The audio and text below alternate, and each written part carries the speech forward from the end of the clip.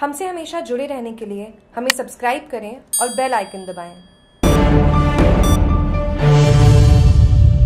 सेवानिवृत्त अध्यापक के विदाई समारोह में उमड़ा जनसैलाब जब बच्चों और गुरु का अद्भुत प्रेम देखने को मिलता है, तब जब शिक्षक का ट्रांसफ़र हो या फिर रिटायरमेंट, ये तब पता चलता है कि कितना प्रेम था। वही देखने को मिला ग्राम पंचायत नागाणी के राजकीय उच्च माध्यमिक विद्यालय नागाणी में। व्याख्याता पृथ्वी सिंह देवड़ा सनवाड़ा की सेवानिवृत्ति पर। विदाई समारोह में बच्चों से लेकर गाँव के लोगों तक पृथ्वी सिंह का प्रेम भाव देखने को मिला। पूरा गाँव स्कूल के मैदान में उमड़ पड़ा। किसी के हाथों में गुलाल तो किसी के हाथों में माला साफा देखने को मिले। पृथ्वी सिंह जब से नागानी विद्यालय में अपनी सेवा देने पद ग्रहण किया, तब से छात्र और छात्राओं का अटूट बंधन, प्रेम प्रेम का अलग ही रहा। पृथ्वी सिंह बच्चों को अपने बच्चों की तरह रखते थे। शनिवार को उनकी सरकारी नौकरी का अंतिम दिन था। उसको नागानी गाँव के लोगों ने इतिहास बना दिया और ढोल बाजे के साथ विदाई दी, जिसमें विद्यालय के छात्रों ने अपने गुरु को भावुक विदाई दी। कार्यक्रम में गाँव के प्रबुद्ध जनों एवं सभी स्टाफ साथियों की उपस्थिति रही। देवड़ा के अड़तीस वर्ष की गौरवमयी सेवा पर उनकी भूरी भूरी प्रशंसा हुई एवं उनको सेवानिवृत्ति पर ग्राम वासियों द्वारा फूल मालाओं से लाद दिया गया। सभी ने अपने विचार व्यक्त किए। छात्रों के लिए ये एक भावुक पल था। विद्यालय के प्रधानाचार्य जी एवं स्टाफ साथियों द्वारा सिरोही की प्रसिद्ध तलवार एवं साफा उन्हें भेंट किया गया। कार्यक्रम में प्रधानाचार्य तेज प्रकाश शर्मा, पूर्व उप सरपंच दलपत सिंह, देवेंद्र सिंह, पंचायत समिति सदस्य दोलाराम मेघवाल, पूर्व सरपंच कसनाराम राणा, सरपंच प्रतिनिधि मानाराम मेघवाल समाज सेवी नगेंद्र सिंह देवड़ा, वार्ड पंच प्रकाश कुमार घाची, वार्ड पंच रतन सिंह देवड़ा, मालाराम और समझ आसपास के गाँवों के विद्यालयों के शिक्षक आदि ग्रामीण उपस्थित रहे। ग्रामवासी एवं स्टाफ ने देवड़ा को उनके निवास स्थान, सनवाड़ा तक छोड़ने गए साथ ही अपनी ढेरों बधाइयाँ दी। जागरूक टीवी के लिए नागाणी से महेंद्र सिंह परमार की रिपोर्ट।